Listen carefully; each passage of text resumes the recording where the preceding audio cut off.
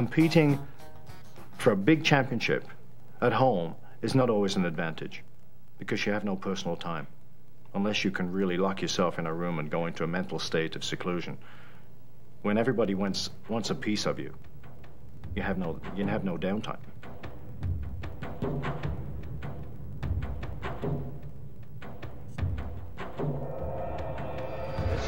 The that Underhill and Martini have to beat if they want to try to win the gold. Another throw, there was a slight over-rotation on her landing on that one. a lot Lava Vasilyev uh, from the Soviet Union are going to be very hard to beat. Johnny, I think that the pairs is going to be the most hotly contested event. What then is the magic number for Underhill and Martini, Otto? John, the magic number is five. That means that Underhill and Martini need at least five judges to put them in first place tonight to win the gold.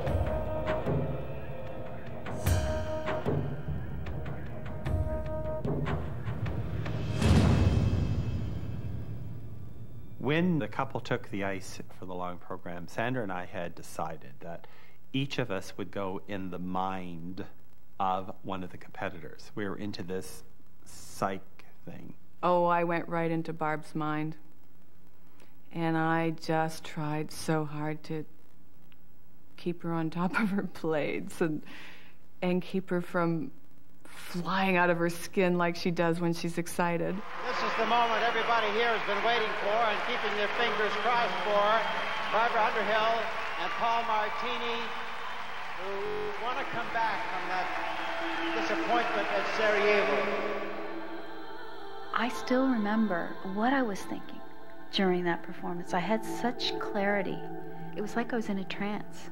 In the first three or four seconds, you will see Paul almost fall on his ass. If you watch very carefully, you'll see me do one of these, as though I was going to fall off my heel. And he goes like that.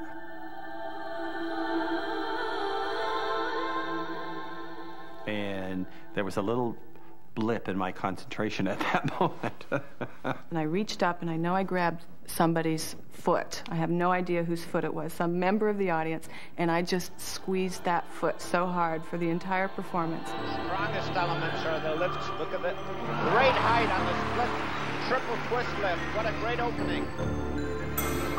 And the second important move right now is to throw triple Salchow. Paul is going to throw Barb in three revolutions. Let's hope for this one. Here it is.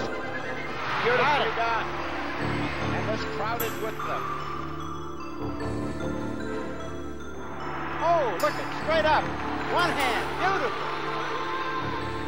beautiful. right near the end, I heard Sandra screaming, So I screamed at the top of my lungs. No, no, no, meaning concentrate, concentrate. I could see her getting that excited Barb thing where she starts just levitating. There's a throw double axel jump.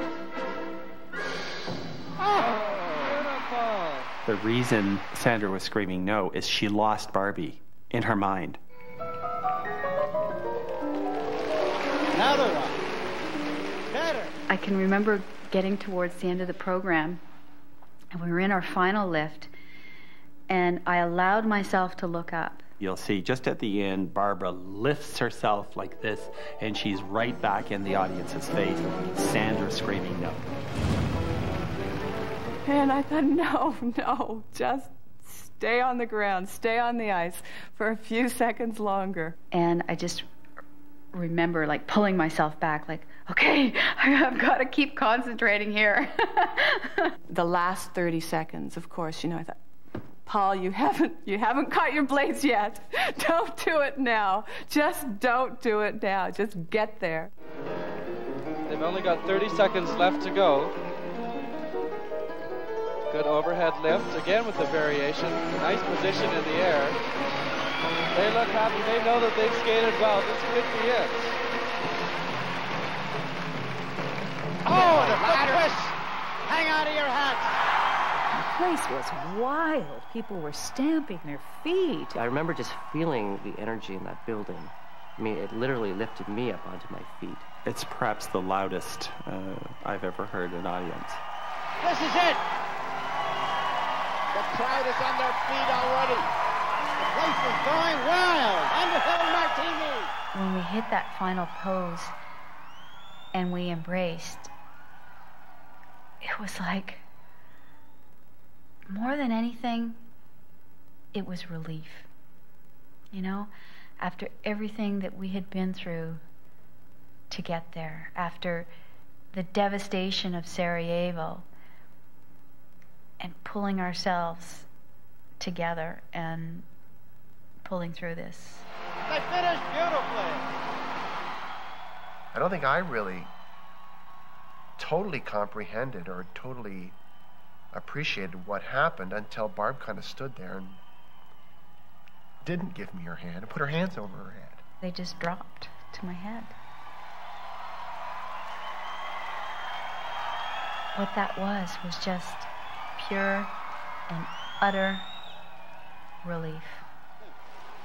This is this is it. Now they, as I said earlier, they could not wait for somebody else to do it for them. Hey, look it, look it. Five nine, five nine, five seven, five eight to cross. Five seven from the British judge. The five nines are from the U.S. From the Swiss judge. They need five first place votes, remember, in the total of these two marks. I don't even know how to describe it, but it was like we climbed this huge mountain. And then where do you go from there? Suddenly, there were no goals in my life. Suddenly, there was no direction. There was no. I don't know. It was. It, it was a very confusing time because I, I felt that this was what I had been waiting for, you know? Professional skating, the glory, the, the glamour. It's hard to believe that six minutes of your life can make such a huge impact on what lies ahead for you. But it's, it, was, it was and is reality for us, and it really let us move on.